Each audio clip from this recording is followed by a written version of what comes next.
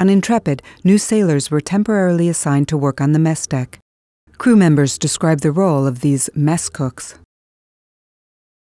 We had eight guys, eight cooks, and maybe, uh, depending on how many came aboard, maybe six to eight mess cooks.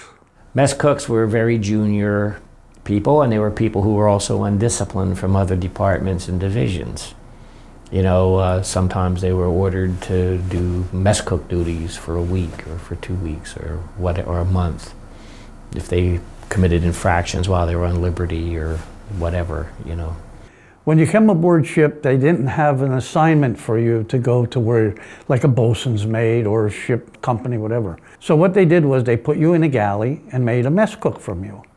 As a very, very junior individual would serve so many weeks or months or whatever it is in, in the scullery and doing nothing but washing dishes or, or doing the most menial mess tasks. And In other words, you cleaned the floors, you served the food to the people on the line, You're the guy that opening up all the cans.